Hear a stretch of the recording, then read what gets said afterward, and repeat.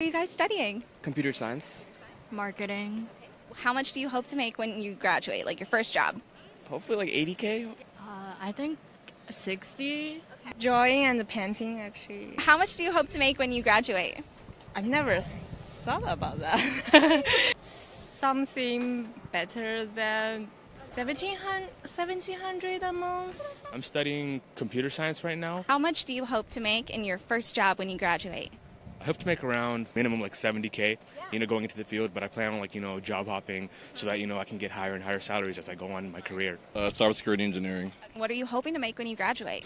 Uh, entry level, hopefully like 90, 95 is kind of the goal. So I'm studying marketing and business analytics. How much are you hoping to make? I'm hoping to make like about 80 to 90k in that in that range. I want to work around like Washington D.C. because I know like there's good wages here. It's a nice place to live, so I want to live like in the city hopefully.